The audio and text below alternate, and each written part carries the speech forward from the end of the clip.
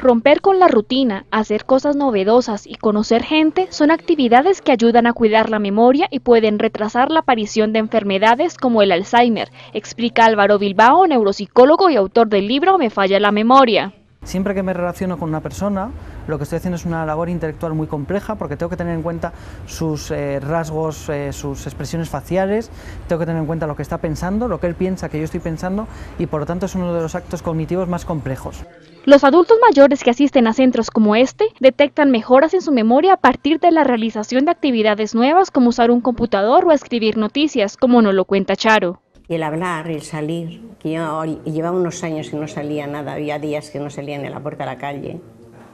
pues me ha venido muy bien. El psiquiatra Pedro Montejo añade que las personas que ejercitan su cerebro también tienen una mayor reserva cognitiva, que puede retrasar hasta seis años la aparición de enfermedades como el Alzheimer. Estas personas que de un nivel cultural superior, de una actividad superior, de unas relaciones sociales también superiores, ¿no? pues necesitan que haya, esté mucho más avanzada la enfermedad para que den síntomas, para que se puedan notar esas alteraciones. Subir una foto a Facebook o publicar una historia en la que se explica un acontecimiento importante de la vida también es un ejercicio para la memoria, así como el dormir bien para asentar los recuerdos.